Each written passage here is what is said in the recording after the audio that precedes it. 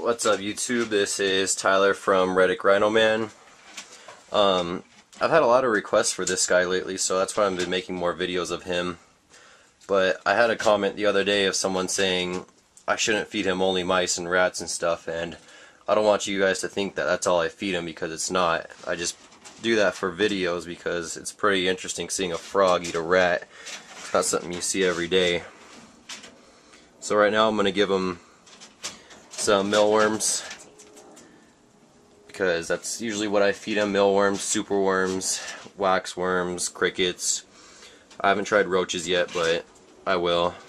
I'm still looking for Dubia roaches somewhere around here. So, let me feed him real quick. I just have a couple of mealworms for him.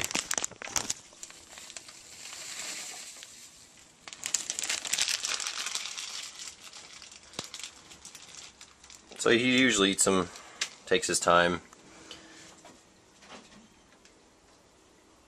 and he'll finish those up.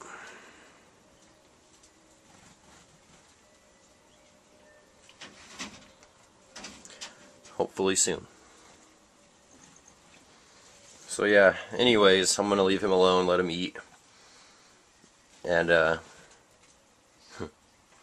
so yeah, I'm just showing that I I'm not only feeding him rats because I knew that that's definitely not healthy for him.